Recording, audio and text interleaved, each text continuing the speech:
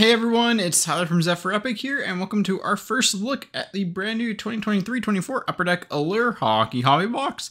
Allure is an 8 card per pack, 8 pack per box product, where you're mainly chasing after the parallels. My favorite are the color flow ones. Uh, they're essentially, they go from like red, orange, all the way to blue, purple, and you kind of create a rainbow.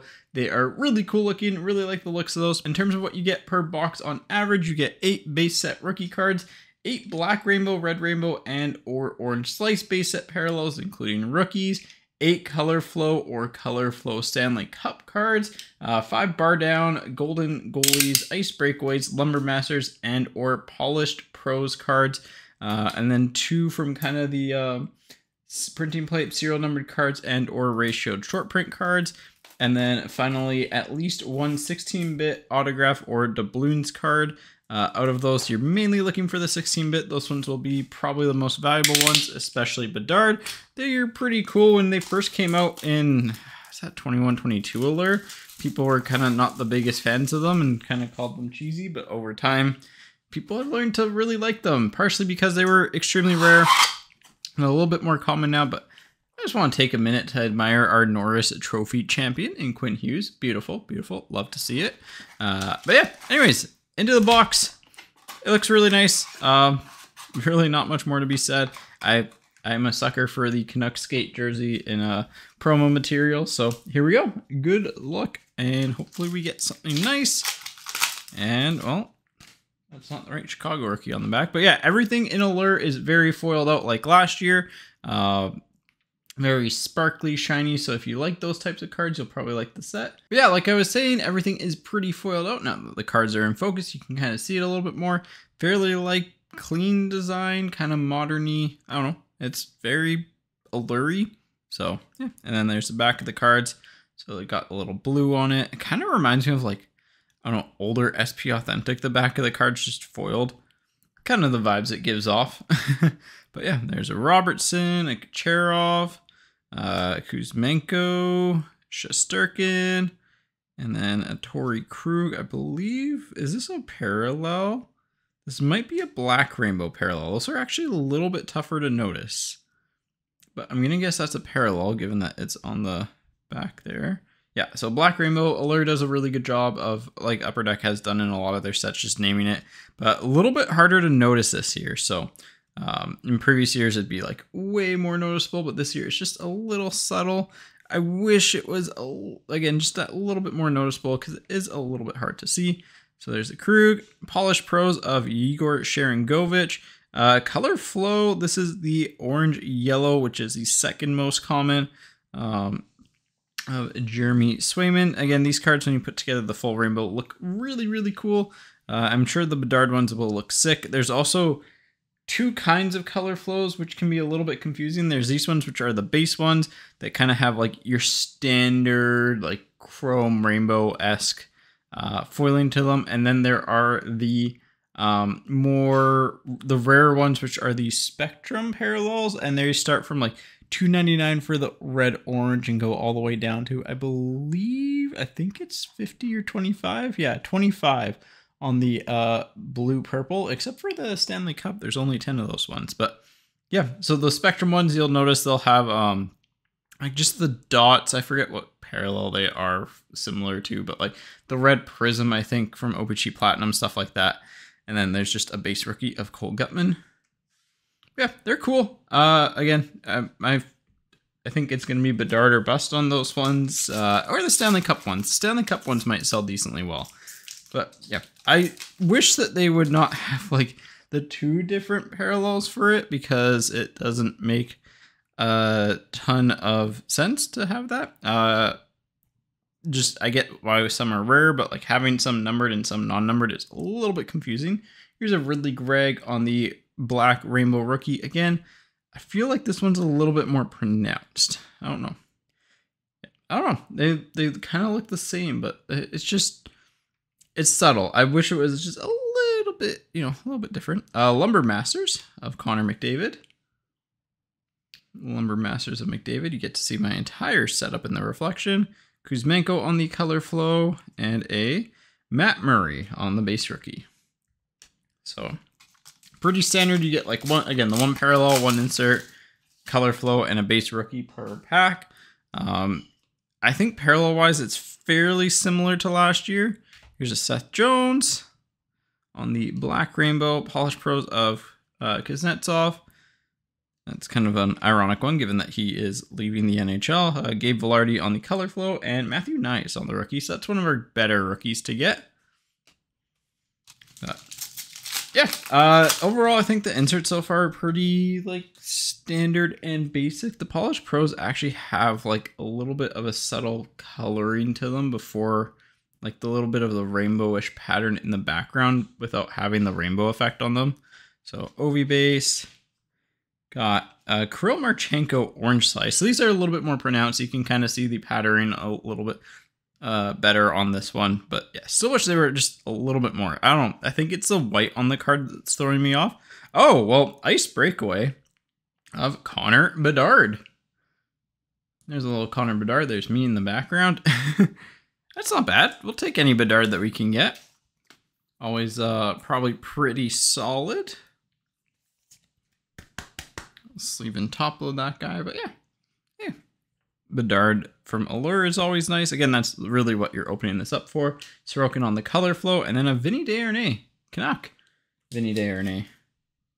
Kind of weird saying that, but hey. All right, well, we opened up a dart in our box. That's generally a win. One thing I will say is that the side of our box, the shrink wrap was a little bit peeled, so uh, I feel like that might be a common issue. Uh, Dufour on the Black Rainbow rookie, Ice Breakaway of Dylan Guenther, and a uh, blue purple. These so when Allure first came out and they first did these, the blue purples and the green blues were numbered, but these are going to be the toughest ones to hit from the base set. I believe that they are one in, I can just look it up here. One in, oh, they're only one in 24 packs. They're not as rare as what they used to be. But I guess that's three boxes. And then Meriläinen on the rookie. But we still should have a numbered card or a short print or a doubloons. I think this will be like our short print um, coming up. There's a Crosby base. Barkov on the uh, rainbow. And, oh! Rookie, blue line rookie jersey auto of Devon Levi. That's actually pretty sick for the Sabres. Um, pretty good little pull there to 75 on that one. Uh, nice McDavid color flow and a Coronato on the rookie. But yeah, nice, uh, nice Devon Levi there. One of the better goalies to get. And I, again, I love the foiling on it. I just, the, in previous years, like the whole card would pretty much be foiled. So a little bit of like the white not getting the foil treatment is definitely messing me up a little bit, but it still does look pretty clean. I just wish it had like a little bit more of that at the bottom yeah, overall looks pretty cool. Uh, hey, jersey autograph to 75 of one of the top goalie prospects. Can't really go too wrong with that, so I'm not upset by that. We got one Bedard, we got a numbered jersey auto, which again, a lot of time your autos, and again, pretty much I think all of the autographs are sticker autos in this set, but um, I I just think that this is going to be like a generally solid pull. You'll be happy to see a jersey auto because uh, a lot of the autos you'll get will be like kind of veteran uh, players who might not be the best or kind of the lower end rookies. So here we go. Next pack. Well, we got a Nesterenko rookie on the back. So that is our autograph. We should technically have one more numbered card, right? So also one of the big hunts is the um the gold treasure one of one, similar to kind of uh OPC Platinum. So Marco Kasper on the orange slice. So here's a color flow spectrum. You can tell it's kind of got that like pulsar if you're familiar with uh, Panini and I think Topps maybe uses that. I don't know. But it's kind of that like pulsar type finish to it. They call them spectrum. Um, number to 99 on that. Svechnikov on the orange yellow color flow and a Nesterenko rookie. Yeah, pretty standard looking kind of spectrum color flow. They look really, really cool. Uh, I again, when you get the whole set together, they will definitely look a lot better. Uh, I will try and show a picture on screen of like, because what colors are we missing? We're missing like if we had a blue green, I could kind of like piece it together, but maybe the last pack will have a blue green. So, Ooh, who's it? Parker Evans. Okay. But yeah, all right, final pack here. Should be maybe have another short print card or another numbered, or I guess that's the other numbered parallel. Uh, Jamie Drysdale, Uh, iced breakaway. This is an orange parallel because it's got that orange cracked ice of Shane Wright, number to 399. A Wyatt Johnston on the color flow, and a Ryker Evans on the rookie for the um, Seattle Kraken. So overall, I think we got yes, two numbered cards, and then the obviously the jersey hit, which is luckily numbered, the jersey autograph. Um, to 399 though, that's pretty pretty like okay. I don't know. Uh, design wise, I kind of like the base set. Um, the parallels are nice. They're just not as pronounced as previous years. I would wish that they were like, and like these ones are fine. Like the anytime you have the red rainbow or something like that, where it's like very very obvious that there's there's a parallel. It's uh kind of the black rainbow ones that I think need a little bit more love in an upcoming year.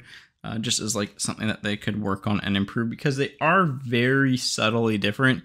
Obviously, like it's noticeable, but it's not noticeable enough for me personally speaking. Um, yeah, outside of that, the inserts are kind of like they are what they are. I'm not the biggest fan of the insert sets, but hey, it's nice getting a Bedard.